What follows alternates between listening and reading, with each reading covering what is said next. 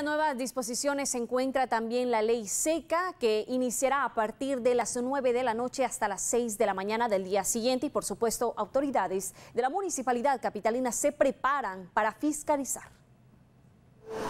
La Policía Municipal de Tránsito iniciará una serie de operativos estratégicos en la capital para interceptar pilotos que conduzcan bajo estado de ebriedad, tomando en cuenta la ley seca establecida por las autoridades desde octubre los usuarios o conductores eh, de vehículos que estén realizando acciones de conducción o manejo, pero están en estado de ebriedad, van a ser trasladados a la torre de tribunales bajo la coordinación con la Policía Nacional Civil. En la torre de tribunales hemos llegado incluso hasta realizar 53 pruebas de alcoholemia en una sola noche. Las sanciones por conducir en estado de ebriedad van desde los 500 quetzales, pero actualmente quienes son interceptados violando la ley seca serán enviados a torre de tribunales en donde el juez interpondrá una sanción que puede llegar hasta los 5 mil quetzales. De los accidentes de tránsito que se registran cada día existe un porcentaje provocado por la ingesta de bebidas alcohólicas. Con las excepciones y las indicaciones que da la,